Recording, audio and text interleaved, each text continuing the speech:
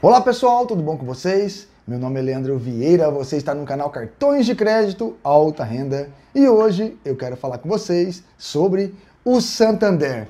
Renegociação de dívida pelo Santander, pelo site ou pelo aplicativo ou nas agências do Santander ou até mesmo pela central de atendimento Santander. Isso é bom?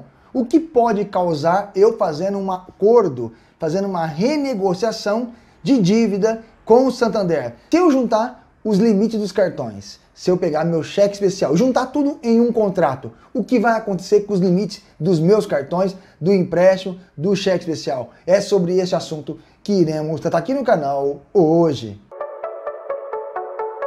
Gente, muito pedido aqui no canal referente à renegociação de dívidas pelo Santander.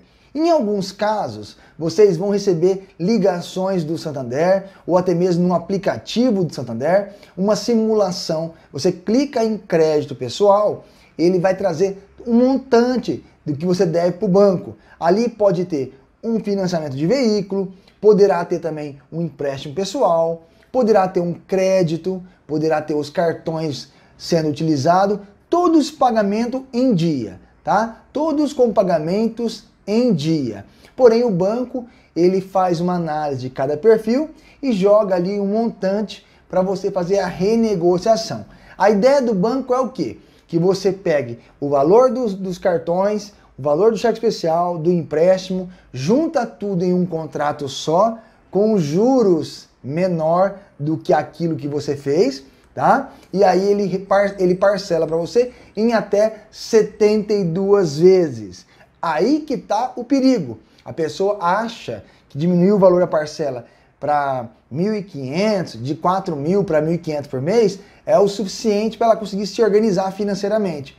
Mas, quando você multiplica o valor das parcelas com os juros embutidos, mais seguro, né, mais seguro, dentro dessas parcelas, você vai ver aí o rombo que vai fazer na sua vida financeira. O valor chega até quatro vezes o valor da dívida já com juros. Porque se você pegar o valor principal que você tem lá sem os juros, ele é menor. E aí o banco, sobre os juros que já foi financiado, mais os juros que vai ser calculado, você pode pagar em, nessa, nessa simulação que eu vou mostrar para vocês, quatro vezes o valor já com juros, tá? Então, um alerta para vocês aí. E outra coisa que acontece também, quando você faz essa renegociação ou juntar todos os seus débitos em um único contrato, o Santander reduz o seu limite às cinzas. Né? Tem casos aí que o limite chega a um real, cem reais, dez reais e ele só vai voltar quando você tiver praticamente o contrato quitado. É bom você ficar atento a isso também. As pessoas acham que fazendo essa renegociação de dívida vai voltar aos limites. Não volta imediato e se você pagar atrasado as parcelas, o seu rate vai reduzir e você dificilmente conseguirá ter limite novamente. E tem mais, quando você faz uma renegociação de dívida com o banco, o seu rate cai para 3, para 2, tem casos de 1, tá? Quando você faz esse acordo, o seu rate também reduz, podendo chegar até 1, que é de 0 a, a 9, tá? Então fique atento a isso também. Então vamos dar uma olhadinha no vídeo, nessa tela aí que vocês estão vendo, referente à simulação do Santander.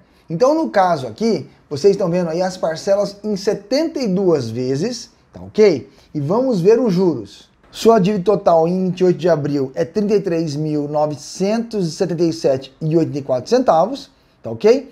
Dia do vencimento dia 28, uma simulação, tá? 72 vezes, tá ok? Valor da parcela, 1.760,40.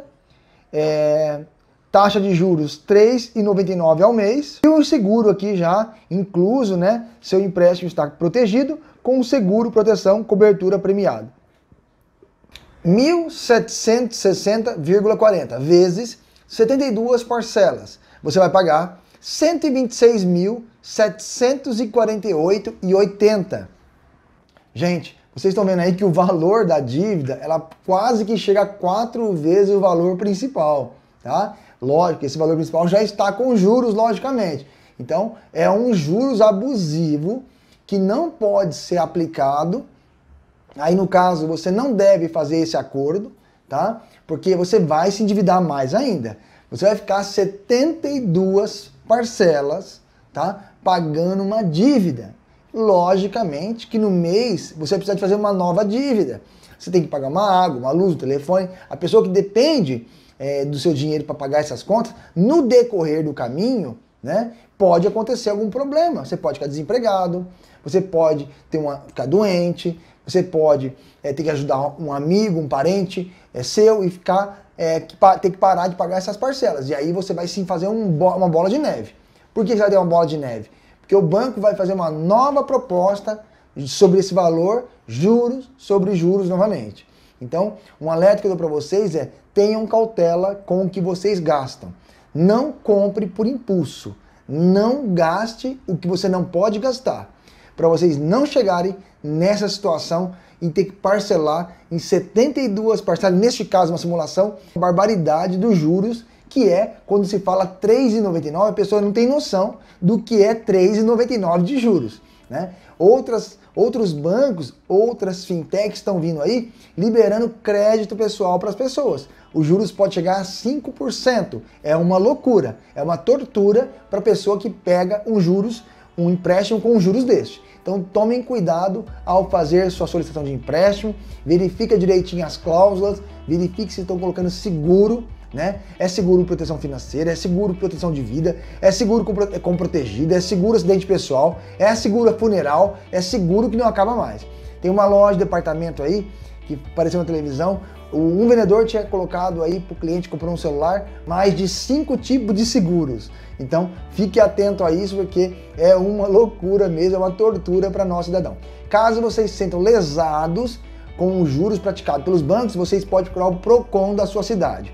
Também tem o site consumidor.gov e também o Banco Central pode ser acionado caso eles estejam praticando é, juros abusivos, tá bom? Em alguns casos também recorre ao advogado para ver é, o que pode ser feito para ajudar vocês, tá bom? Este foi o vídeo de hoje referente à renegociação de dívida do Banco Santander com juros altíssimos. Vamos aos abraços então. Simone Silva, um grande abraço, minha amiga. João Paulo Santos, um abraço. Tibério Rodrigues, um abraço para você também. Marcelo Santos, um abraço para você também. Pessoal, eu espero que vocês tenham gostado desse vídeo. Até o próximo. Fique com Deus.